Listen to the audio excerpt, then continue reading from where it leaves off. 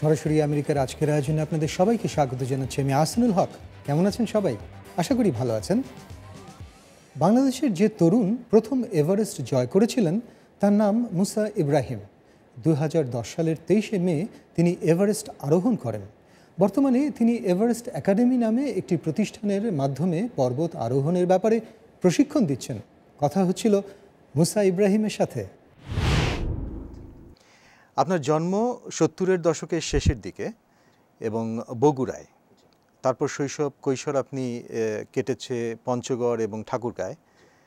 পরে আপনি নটরডেম কলেজে পড়ালেখা করেছেন, ইন্টারমিডিয়েট দিয়েছেন, পরে ঢাকা বিশ্ববিদ্যালয়ে পড়ালেখা করেছেন আপনার স্নাতক এবং মাস্টার্স। দু হাজার দশ সালের তেইশে মে আপনি এভারেস্ট আরোহণ করলেন। এই যে এভারেস্ট জয় করতে হবে, এই চিন্তাটা আপনার মাথায় আসলো কবে? আসলে আমরা অনেকেই চাইছিলাম যে আমরা এভারেস্টে যাব, বাংলাদেশকে এভারেস্ট জয়ী দেশ হিসেবে পরিণত করব। তো এই চেষ্টাটা আমাদের শুরু হয়েছিল দু হাজার চার সালের দিকে। আমরা পর্বতারোহণ প্রশিক্ষণ নেওয়া শুরু করেছিলাম। আবার দু হাজার পাঁচ সালে আমরা পর্বত অভিযানে যাওয়া শুরু করেছি। তো তখন অনেকে জিজ্ঞেস করতেন যে আমরা কবে এভারেস্ট যাচ্ছে? তা আমরা এই প্রশ্নটা খুব ভালো উত্তর দিতে পারতাম না। কারণ আমাদের নিজেদের মধ্যেই কিছু প্রশ্ন ছিল যে আমরা আসলেই শুরু করেছি মাত্র, কিন্তু এভারেস্টে যাওয়ার জন্য যে যোগ্যতা দরকার সেটা আমাদের আছে কিনা।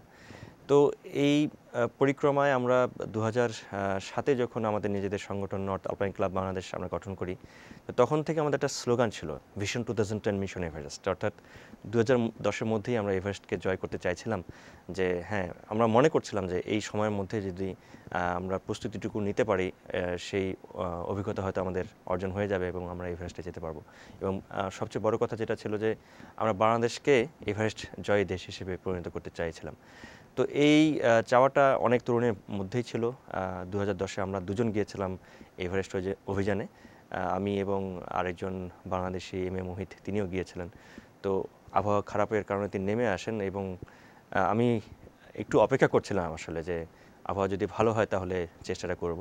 তো লাকিলি আবহাওয়া ভালো ছিল। আমরা যখন অপেক্ষা করছিলাম উনিশে মে নর্থ কোলে, তো আমরা আবার সামনের দিকে এগিয়ে যাই। তো দু হাজার দশের তেইশে মে আমরা সফল হয়েছি এভারেস্টে চড়ে। বাংলাদেশকে এভারেস্ট জয় দেশ জয় দেশ হিসেবে পরিণত করতে পেরেছে এবং বাংলাদেশ এখন সাতষট্টিতম এভারেস্ট জয় দেশ বা বিশ্বের বুকে। তো এটাই আমাদের সবচেয়ে বড় অর্জন যে আমরা এখন গর্ব করে বলি বাংলাদেশ এভারেস্ট জয় দেশ। বাংলাদেশের জন্ম হয়েছিল উনিশশো একাত্তরে আর দু হাজার দশ প্রায় চার দশক পরে প্রথম কোনো বাংলাদেশি এভারেস্ট জয় করলেন। এত দেরি হবার কারণটা কি? আপনার কি মনে হয়?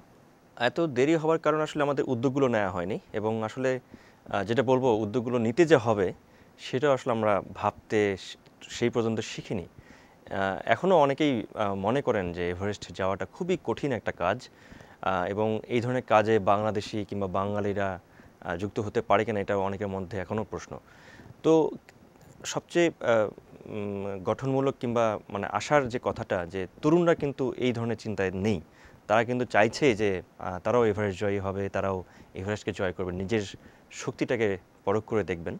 তো এটাই কিন্তু আমাদের জন্য সবচেয়ে বড় আশার কথা যে, অনেক বেশি তরুণ এই কাজটাতে কিংবা এই অ্যাডভেঞ্চারে এখন যুক্ত হচ্ছেন। এবং যেটা বলছিলেন আপনি যে হ্যাঁ কেন এত দেরি হলো? তা আমার মনে হয় এই যে, এখন আমরা দেখছি দু হাজার দশে শুরু হয়েছে দু হাজার এগারো, বারো, তেরো, প্রতি বছর এখন বাংলাদেশ থেকে এভারেস্ট অভিযান হচ্ছে। তো এখন এটা চলতেই থাকবে। অর্থাৎ আমাদের শুরু হয়ে গেছে আমরা বুঝতে শিখেছি আমরা জেনে গেছি তো এটা এখন থেকে চলতেই থাকবে। এ পর্যন্ত কয়জন বাংলাদেশি এভারেস্ট আরোহণ করেছেন? এই দু হাজার তেরো পর্যন্ত তিনজন ছেলে দুজন মেয়ে অর্থাৎ পাঁচজন বাংলাদেশি আমরা এভারেস্ট জয় করেছি। এবং কয়েক মাস আগে একজন পর্বতারোহী সজল খালেদ তিনি এভারেস্ট জয় করতে গিয়ে সেখানে মারা গেছেন। অর্থাৎ এখানে ঝুঁকির ব্যাপারটিও আছে। অবশ্যই এটা একটা বিশাল ঝুঁকির ব্যাপার। উচ্চতাজনিত কারণে আসলে ঝুঁকিগুলো তৈরি হতে থাকে। আমরা সমতলে বসে হয়তো অনেক ধরনের সুবিধার কথা কিংবা সুযোগের কথা চিন্তা করি, কিন্তু যখনই আমরা আল্টিটিউডে যাই তখনই কিছু সমস্যা তৈরি হতে থাকে। এটা অক্সিজেন কম, কমতে থাকার কারণে। শরীরকে ওই উচ্চতার সাথে মানিয়ে নেওয়া এবং ওখানকার আবহাওয়াটাও খুবই ঝুঁকিপূর্ণ থাকে এবং সেখানকার পুরো পরিবেশটার সাথে মানিয়ে নেওয়ার বিষয় থাকে। শরীর যখন এই পুরো পরিস্থিতির সাথে খাপ না মানে খায়, অর্থাৎ অ্যাডজাস্ট যখন হয় না অ্যাক্লামাটাইজড যখন হয় না, তখন কিন্তু এই ধরনের কমপ্লিকেসিগুলো তৈরি হতে থাকে। তো এই ঝুঁকিগুলো জানা, এর সাথে পরিচিত হওয়া এবং এগুলোকে কীভাবে আমি মোকাবেলা করব, এগুলো যদি আমার ঠিকমতো জানা না থাকে, তাহলে আসলে আমি ঝুঁকির মধ্যে পড়তে পারি। এটা বলা যেতে পারে আর কি। ধরুন, আজকে এই সাক্ষাৎকারটি যারা দেখছেন তাদের মধ্যে অনেকে হয়তো ভাবতে পারেন যে তিনিও এভারেস্টে উঠতে চান। কিন্তু এমন কোনো ফিজিক্যাল কন্ডিশন কি আছে যেটা থাকলে তার জন্য এভারেস্টে ওঠা ঝুঁকিপূর্ণ হবে? আসলে ধরুন যার ডায়াবেটিস আছে অথবা যিনি যার হয়তো ওভারওয়েট যিনি হয়তো স্বাভাবিকের চাইতে মোটা বা এরকম কিছু কি আছে? এরকম কিছু নাই আসলে। কারণ হলো যার কিছু ধর এই ডায়াবেটিসের কথা বললেন কিংবা যিনি একটু স্বাভাবিকের চেয়ে একটু বেশি মোটা তো তাদের সবার জন্য কিছু কিছু না কিছু সমাধান কিন্তু আছে। কেমন? যিনি, যার ডায়াবেটিস আছে, তিনি ওই মানে মেডিকেশনটুকু নিয়ে যেতে পারেন, কিংবা যিনি একটু বেশি শরীরে দিকে মোটা, তিনি হয়তো প্র্যাকটিস করে ওটার সাথেই নিজেকে মানিয়ে নিতে পারেন। অর্থাৎ নিজের ক্লাইম্বিংটা কিন্তু আমাকে নিজে জানতে হবে যে আমি কোন পর্যন্ত নিজেকে পুশ করতে পারব, আমার স্টেমিনা কতটুকু আমার আছে এবং কোন জায়গায় গেলে আমার ব্রেকিং পয়েন্টটা কি এগুলো আমাদের জানার দরকার আছে। তো অর্থাৎ যারা যাচ্ছেন এবং আমি যখন যাই, তো আমি কিন্তু শারীরিক এবং মানসিক প্রস্তুতিগুলো নিতে থাকি। যে হ্যাঁ আমি যখন মাউন্টেনে যাচ্ছি, এর জন্য আমাকে এক ধরনের প্রস্তুতির দরকার আছে। কার্ডিওভাস্কুলার অ্যাক্টিভিটিসগুলো যাতে আমার ভালো থাকে, আমি সহজে গিয়ে মানিয়ে নিতে পারি, এই বিষয়গুলো জানার দরকার আছে। তো যারা এ ধরনের শারীরিক সমস্যার মধ্যে আছেন এটা কিন্তু এমন না যে তারা যেতে পারবেন না কখনোই। এটা আমরা সবাই জানি যে একজন ভদ্রলোকের আমেরিকান তিনি তার তিনি চোখে দেখেন না, তিনি এভারেস্ট জয় করেছেন। একজন ভদ্রলোক, তার পা নেই, ডান পা নেই, তিনি এভারেস্ট জয় করেছেন। তো সুতরাং এটা কার জন্য কত বড় সমস্যা? আসলে কোনো সমস্যাই না। সমস্যাটা যেটা আমরা হয়তো চিন্তা করতেই একটু বেঁকে বসি যে আচ্ছা ওরে বাপরে, এত বড় একটা পাহাড় এত উঁচু একটা পাহাড় সেখানে যাওয়াটা তো খুব সহজ কোনো বিষয় নয়। অনেকে মারা পড়ছেন কিংবা সেখানে তাদের জীবনহানি ঘটছে, তো এটা সহজ যেহেতু বিষয় নয়, এখানে যাওয়াটা ঠিক না। বিষয়টা আসলে তা নয়। সবাই যাচ্ছেন, ছেলেরা, বুড়োরা, মেয়েরা, সবাই যাচ্ছেন, তো সুতরাং এটা যে কেউ যেতে পারে। আমরা সবাইকেই উৎসাহ দিই ছেলেদের শুরু করে বয়স্ক যারা, সবাইকেই। আপনি এরই মধ্যে আফ্রিকা এবং ইউরোপের সর্বোচ্চ শৃঙ্গ আরোহণ করেছেন। ইউরোপের সর্বোচ্চ শৃঙ্গ যেটি আরোহণ করা খুব সহজ নয় সেই অভিজ্ঞতাটি কেমন ছিল আপনার? আমরা আসলে প্রথমবার ব্যর্থ হয়েছিলাম। এটা হচ্ছে আপনি রাশিয়া থেকে ককেশাস পর্বতমালায় সর্বোচ্চ শৃঙ্গে আরোহণ করলেন। এটা এলব্রুস এবং উচ্চতা আঠেরো হাজার পাঁচশো দশ ফিট। তো এটা আরোহণ করতে গিয়ে আমাদের প্রথম যে টার্গেট ছিল যেদিন আমরা সামিট প্ল্যান করেছিলাম তো সেদিন কিন্তু আমরা সেটা ক্লাইম করতে পারিনি। খারাপ আবহাওয়া ছিল প্রায় পঞ্চাশ কিলোমিটার বেগে তুষার ঝড় আমাদের মুখোমুখি আসছিল এবং ঠান্ডা ছিল প্রচণ্ড মাইনাস ফিফটিন ডিগ্রি সেলসিয়াসের মতো। তো এই পুরো পরিস্থিতি আমাদের ক্লাইম্বিংয়ের জন্য সহজ ছিল না এবং আমাদেরকে নেমে আসতে আমরা বাধ্য হয়েছিলাম।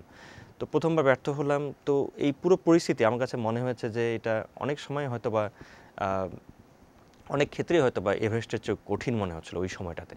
তো আমরা নেমে আসলাম এবং আবার নিজেদেরকে প্রস্তুত করা শুরু করলাম যে হ্যাঁ এটা আমাদেরকে জয় করতেই হবে। আমরা একটা টিম গিয়েছিলাম বাংলাদেশ থেকে দুজন ছিল, একজন মেয়ে। তো আমরা ছাব্বিশে জুন আবার চেষ্টা করি এবং সেদিন সফল হয়েছে। তো সব কিছু মিলে আমার কাছে মনে হয়েছে যে প্রতিটা পর্বতই আসলে এক ইউনিক তার ইউনিক কিছু ক্যারেক্টারিস্টিক্স কিছু বৈশিষ্ট্য আছে যার ভেতর দিয়ে এই ইন্ডিভিজুয়াল ক্লাইম্বিং প্ল্যানগুলো আমাদের সাজাতে হয়। আপনি এই পর্বতারোহণ ছাড়া আর কোনো শারীরিক কোনো অভিজ্ঞতা আপনার আছে? ধরেন স্পোর্টস। আচ্ছা আমরা আহ, টেকনাফ থেকে সেন্ট মার্টিন পর্যন্ত একটা আমরা বাংলা চ্যানেল বলি ষোলো কিলোমিটার লম্বা। এই চ্যানেলে আমরা ইন্টারন্যাশনাল সুইমিং ইভেন্ট আমরা আয়োজন করি সেখানে আমি পার্টিসিপেট করেছি। এরপর আমরা গত ডিসেম্বর অর্থাৎ দু হাজার বারো ডিসেম্বরে আমরা পুরো বাংলাদেশের সাইকেল চালিয়েছি। এটা সীমান্তবর্তী জেলাগুলো ধরে। তো সেখানে আমরা চল্লিশটা জেলা পঁচিশ দিনে সাইকেল চালিয়ে এসেছি। তো এই ধরনের বিভিন্ন রকমের স্পোর্ট অর্থাৎ বিভিন্ন ধরনের অ্যাডভেঞ্চারের সাথে ছেলে এবং মেয়েদেরকে বাংলাদেশ বাংলাদেশের তরুণ তরুণীদেরকে আমরা পরিচিত করে তুলতে চাইছি।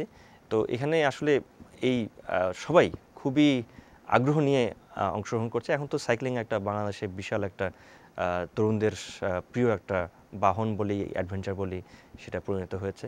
তো এই বিভিন্ন ধরনের অ্যাক্টিভিটিসে আমরা চাইছি যে বাংলাদেশ মধ্যে অ্যাডভেঞ্চারের বিষয়টা যেন আগ্রহী হয়ে ওঠে এবং বাংলাদেশে বুমটা তৈরি হয় যে হ্যাঁ আমরা আর ঘর কোনো বাঙালি নই, আমরা সব কিছু করতে পারি। আপনি এই যে পর্বত আরোহণ করলেন এবং এখন অ্যাডভেঞ্চার ধরনের অনেক কিছু করছেন, আপনার পরিবার আপনাকে কতটা এই ক্ষেত্রে সমর্থন দেয়? হ্যাঁ আমরা এই অ্যাডভেঞ্চারগুলোর পাশাপাশি বাচ্চাদের জন্য কিন্তু অ্যাডভেঞ্চারের সুযোগ করে দিচ্ছি। আমরা অনেক ধরনের সোশ্যাল কমিটমেন্টের সাথে যুক্ত। স্কুলে স্কুলে গিয়ে আমরা অ্যাডভেঞ্চার করার সুযোগগুলো খুঁজছি। আমরা গাছ লাগানো এই, আবার পরিবেশ যাতে সবাই সচেতন হয় পরিবেশ রক্ষার বিষয়ে তো এই সবাইকেই সচেতন করার চেষ্টাটা করছি। তো এই জায়গাগুলোতে আমার পরিবার শুরুতেই মানে পর্বত আরোহণ যে একটা আসলেই আমাদের জন্য সেই মাইন্ডসেটটা ছিল না যে হ্যাঁ এটা যাওয়াটা খুব সহজ নয় আসলে। তো আমার পরিবার কখনো চায়নি যে আমি এই কাজটার সাথে যুক্ত হই। ইভেন আমার বাবা মা সবসময় আমাকে টেনে ধরতেই চেয়েছেন যে, তুমি এটাতে যেও না, জীবনের ঝুঁকি আছে। এখন তারা দেখছেন যে হ্যাঁ যেহেতু কোনো ধরনের দুর্ঘটনা এখন পর্যন্ত আমার ক্ষেত্রে ঘটেনি, তো তারা ওই গুড উইশটুকু করেন। যে উইশটুকু করেন যে হ্যাঁ তুমি যাচ্ছ, যাও, কিন্তু নিজের খেয়াল রেখো, ভালো মতো ফিরে এসো। তো এই এই ধরনের একটা মন মানসিকতায় তারা পৌঁছেছেন যে হ্যাঁ এই ধরনের কাজ হয়তো আমরা করতেই পারি কোনো সমস্যা নেই। আমরা বাংলাদেশি হলেও সমতলের ছেলে মেয়েরা হলেও তাতে কোনো সমস্যা নেই। অর্থাৎ আপনার বাবা মা শুরুর দিকে আপনাকে সেইভাবে উৎসাহিত করেননি? এটা কখনোই করেননি। এবং এমনকি এখনও তারা চান না যে আমি এই ধরনের ঝুঁকির কাজগুলো করি আর কি। আপনার একটা একাডেমি আছে সেই একাডেমিটায় আপনি কি করছেন? হ্যাঁ এই এভারেস্ট একাডেমি এখান থেকে আমরা ছেলে মেয়েদেরকে যারা পর্বতারোহণে যেতে চান এভারেস্ট জয় করতে চান, যাদের ভিতরে এই স্বপ্নটুকু আছে, তাদের সেই আমরা ট্রেনিংটুকু দেওয়ার চেষ্টা করি, তাদেরকে এই অভিযানগুলোতে পাঠানোর চেষ্টা করি। পাশাপাশি আমরা বিভিন্ন ধরনের অ্যাডভেঞ্চার বাংলাদেশে আমরা শুরু করতে চাইছি। এর মধ্যে একটা হলো ট্রায়াথলন আমরা এটা বাংলাদেশে প্রথমবার আয়োজন করেছি দু এবং বারো সালে। আমরা জাহাঙ্গীরনগর বিশ্ববিদ্যালয়ে এটা করেছি এবং এইবার আমরা চাইছি যে পুরো বাংলাদেশে ইউনিভার্সিটিগুলোতে পাবলিক ইউনিভার্সিটিগুলোতে এগুলো আমরা আয়োজন করব। এর ভেতর দিয়ে নতুন নতুন কী কী অ্যাডভেঞ্চার হতে পারে তার সাথে আমরা আসলে ছেলেমেয়েদেরকে পরিচিত করে তুলতে চাইছি। পাশাপাশি যারা শুধু আমরা ট্রেনিং যে দিচ্ছি তা নয় নতুন নতুন অ্যাডভেঞ্চার হতে পারে এমন কিছু আইডিয়াও আমরা এখানে বলছি যে আসো তোমরা ছেলে মেয়েদেরকে যে তোমরা বলতে পারো সেটা আমরা আয়োজন করতে পারি কিনা সেটার আমরা চেক করে দেখতে চাই এবং ওরাই যাতে এখানে পার্টিসিপেট করতে পারে সেই সুযোগগুলো আমরা তৈরি করছি আসলে। ভবিষ্যতে কোনো বিশেষ কোনো পরিকল্পনা? ভবিষ্যতের যে পরিকল্পনা আসলে আমরা চাইছি যে আমাদের ছেলেমেয়েরা একটু পজিটিভ থিঙ্কিং যাতে মানে ইতিবাচক চিন্তা নিয়ে যাতে তারা এগিয়ে আসে তারা যাতে স্বপ্ন দেখতে শেখে তারা নিজেদের শক্তি কিংবা সামর্থ্য কী তারা কি করতে পারে সেই জায়গাটায় আমরা তাদেরকে পরিচিত করে তুলতে চাই যে হ্যাঁ আমি এভারেস্টে যেতে পারি কিনা আমি ট্রায়াথলনটাই করতে পারি কিনা কিংবা আমি ভালো শিক্ষাটা নিতে পারি কিনা আহ, এমন হতে পারে যে আমি ইউনিভার্সিটিতে খুব ভালো লেখাপড়া করতে পারি কিংবা আমি খুব ভালো ইঞ্জিনিয়ার হতে পারি কিংবা আমার স্পেসে যাওয়ার সুযোগটুকু আছে আমার সেই সামর্থ্যটুকু আছে। তো এই যে বিষয়গুলো তো এগুলো কিন্তু আমরা অনেকেই জানি না যে আসলে আমার সামর্থ্যটুকু কী। আমরা চাইছি যে এর ভেতর দিয়ে ছেলে মেয়েরা তারা বুঝুক তারা জানুক যে হ্যাঁ আমি চাইলে লেখাপড়াটাও করতে পারি, আমি চাইলে নয়টা পাঁচটা শুধু চাকরিই নয়, এর পাশাপাশি অনেক ধরনের অ্যাডভেঞ্চার করতে পারি। তো এই স্বপ্ন পাশাপাশি আমার প্র্যাকটিক্যাল লাইফ সব কিছু আমরা একটা সিনার্জি করতে চাইছি, যাতে আমরা বুঝতে পারি যে হ্যাঁ আমরা শুধু ওই যেটা বলছিলাম যে ঘরকুনো বাঙালি নই, আমরা অনেক ধরনের কাজ আসলে করতে পারি। এবং সবচেয়ে বড় কথা যেটা, আমরা যখন এভারেস্ট জয় করেছি, তখন একটা মেসেজ কিন্তু সবার কাছে চলে গেছে যে হ্যাঁ আমরা বাঙালিরা করতে পারি আমরা চাইলে যে কোনো জিনিস অর্জন করতে পারি। তো সেটা আসলে সবচেয়ে বড় একটা মাইল ফলক আমাদের জন্য ছিল যে আমরা পারি। আপনার জন্য অনেক শুভকামনা রইল। আপনার সামনে আরও অনেক সাফল্য আসুক বাংলাদেশের মানুষ সেটাই আশা করে। আপনি আমাদের স্টুডিওতে এসেছেন সময় দিয়েছেন আপনাকে অসংখ্য ধন্যবাদ। আপনাকে ধন্যবাদ ভয়েস অফ আমেরিকাকেও ধন্যবাদ। সরাসরি আমেরিকা আজ এ পর্যন্তই। এখানে জানিয়ে রাখি ইউটিউবে আমাদের সব অনুষ্ঠানের ভিডিও দেখতে পারেন ভিওএ বাংলা চ্যানেলে। ভিওএ বাংলা ফেসবুক ফ্যান পেজেও জানাতে পারেন আপনার মতামত। আগামী সপ্তাহে একই দিন, একই সময়ে এটিএন বাংলায় আমাদের অনুষ্ঠান দেখার আমন্ত্রণ জানিয়ে বিদায় চাইছি Mehasinul Haque voice of America